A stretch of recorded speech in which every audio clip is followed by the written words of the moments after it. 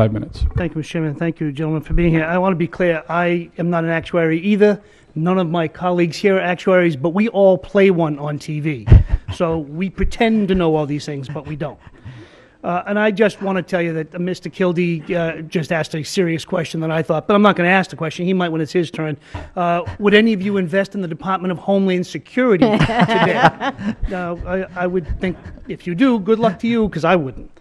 But I want to get to, my issues. Honestly, this is the 85th hearing, I think that's an official count, that we've had on the FHA in the last year. It's always the same. The concerns are legitimate. The differences are statistical, and they're, uh, they're not objective, they're subjective. What should society be doing? How much should we be risking? Good questions, serious questions. At the same time, since we started these hearings, the MMI fund has stabilized. Not a single penny of taxpayer dollar has been used. The only reason it was accessed is because a law says it must be accessed. On top of that, private capital has come back into the market, and the FHA's share has been reduced. The numbers I have is from 1.8 million in 2009 to 786,000 last year. We're heading in the right direction by anybody's measure. We're not arguing basics here. We're arguing, not even arguing, we're discussing details and where the margins are. All good, all important, but to be perfectly honest, it's not worth an 85th, 86th, 87th, and 88th hearing unless there is a change to that direction. We're heading in the right direction by everyone's estimate. Is that a wrong? Does anybody disagree that we are heading in the right direction? I think the answer is you agree. Just one comment in terms of uh, Mr. Holtz-Eakin's testimony. One thing that changes with this price increase is that trajectory in market share has the potential to change. I, I, everything has a potential to change. I could lose an election. I mean, you could lose your job. Anything can change. But at the moment, based on recent history, things are heading in the right direction.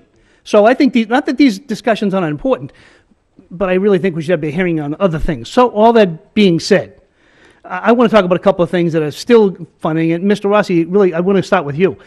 For a couple of years now, I've been arguing, and it turns out apparently you have argued that the receivership of Fannie and Freddie has now overstayed its need and necessity and should be ended. And we should stop this ridiculous sweep of profits. Now, you might want to, then we could argue about Fannie and Freddie fees and what to do with the money, different issue. Right now, it's being used as a piggy bank by the federal government for no particular purpose, doesn't help the housing market, doesn't help anybody in private industry that I know of. Mr. Rossi, do you, did I read your stuff right, that you think that the receivership should be ended because it's no longer necessary? Yeah, you uh, and the context for that, uh, uh, Congressman, was the following. It was uh, as much out of exasperation when I was. I've been following this too. It almost feels like Groundhog Day at times, um, where we've had. Um, you know, proposals to uh, to reform the GSEs at various times, and, and for whatever reasons, it hasn't come to fruition. So my my point of of writing that piece or pieces was just that was to acknowledge that maybe we could take a more pragmatic approach, look at HERA, and and decide whether an administrative solution was was the answer. And HERA, for all intents and purposes, for those who don't know, are those reverse mortgages that every movie star in the world apparently wants to sell me on TV. Is that right?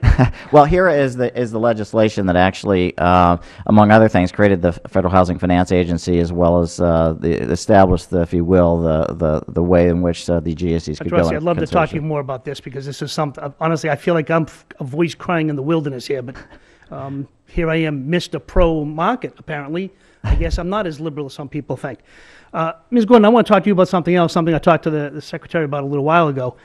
Uh, these batch sales, these bulk sales of foreclosed homes.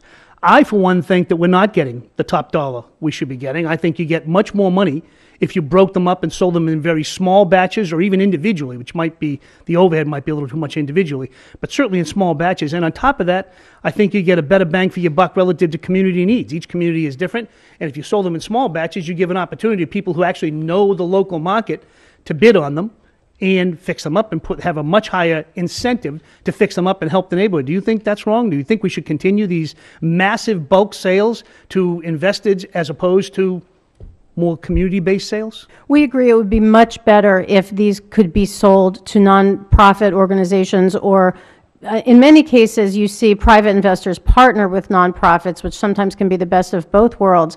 Small pools and geographically concentrated pools really, really helps that. You can't do all of it that way because, of course, some of the stock is just, it's not going to work out that way. We've got a whole country to cover. But that would be a very good idea. It would also be a very good idea to require all investors, whether they're nonprofits or private investors, to make sure that they give the homeowner a chance to reperform or avoid foreclosure before taking them through foreclosure. And that requirement isn't in place for all of those loans right now. Appreciate it. I'll see you all at the 86th hearing.